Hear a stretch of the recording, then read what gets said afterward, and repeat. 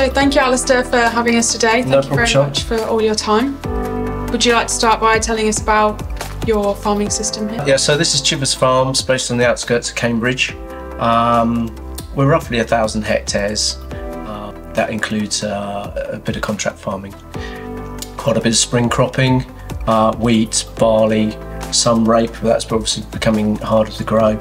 No root crops. This is uh, this is quite heavy soil, high pH, high magnesium, calcium. Um, uh, centred sort of in uh, blocks around the outskirts of Cambridge.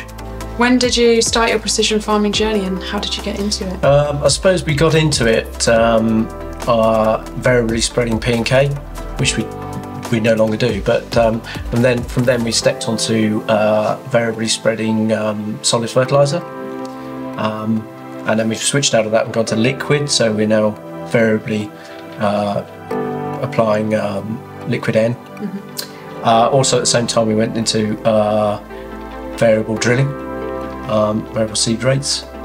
Um, and uh, we just generally sort of progressed because we could do one, we learned about one, we sort of moved on to the other. And also, you know, it's incremental gains, isn't it? So, you know, you, you, you, you may gain a little bit from one, but if you're stacking them all up, hopefully you, you uh, build a bigger bit of the pie by, by using them all. You started your precision farming journey back in 2010, so 13 years ago. What were the challenges you found? compared to now, um, I'd, I'd have to spend a lot more time uh, on the computer, moving files about and uh, creating files, putting them on a USB stick. Now, if you were to start tomorrow, um, that's all gone.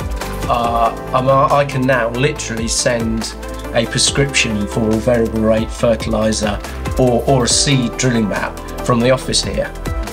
Plus the fact you've got a lot of young younger guys out there now who've grown up with it and are used to it. They're used to guidance on the tractor. They're used to bringing in folders, recording everything. So you know they're they're pretty slick anyway. So that, that helps a lot. What has been your experience of the precision farming journey here at Chivers Farm? We've had a lot of changes, um, bringing on RTK on all machines, mapping all the fields. Um, that's had a lot of benefits. Uh, we know exactly what we're farming. Um, when you fill the spray, you know exactly what you've got in. It is a big learning curve. Uh, we've had some good help from Ben Burgess. Um, some training where they've been out to us, we've been to them um, to set a lot of it up. Um, I think everyone's now used to it, on board with it, and it works really well. Originally, you had you were working with two systems, so you had Trimble and GreenStar. What made you go down the route of GreenStar? Just uh, accuracy, but uh, sim- simplicity really. You, you know, you're dealing with a one system. They're using the one file type, um, so you're not trying to work with one and one the other because they don't cross over. And what made you go down the variable rate route? There's so many journeys you could do with precision farming. Why variable rate? Um, well, it's simple to do. You know, with that, with the with the sprayer that we've got and many sprayers on the market, it's it's, it's, it's not difficult. Um, they'll all they'll all do it now. You just produce the map, put it in there. Why not? Why would why would you not? I go, it's that it's really not that difficult. Um, in terms of cost, yeah, there there is a slight cost for the um, satellite imagery. I can't see why you wouldn't do it. I really don't. What's your experience then of variable rate application? Um, we find that you'll still use the same amount of product over a field. Uh, what it tends to do is it will take product from bits that look really good, uh, where it doesn't need so much, and put that on the bits that are a bit more backwards, needs a bit more, and therefore still using the same amount, but using it more efficiently. Um, at the end of the year, the crops do look more even. They tend to look uh, nicer level. You have to say that it, from a visual, it works well. What information do you use to make your variable rate decisions? Uh, well, the the N would be sort of based just based on the, uh, the satellite imagery, perhaps a bit of historic cropping in there as well.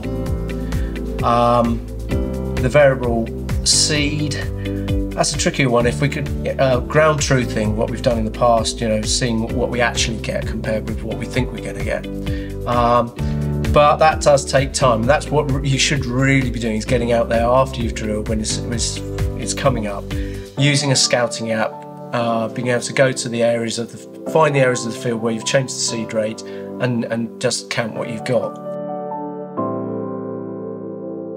You've got your trail sprayer behind us here, so how does that help with your variable rate application? With the section control, uh, we will see uh, a 1% overlap with this machine, um, which is obviously a huge saving from doing it manually. If you had to do it manually, I don't know what the exact figure is, but you would be probably 10%.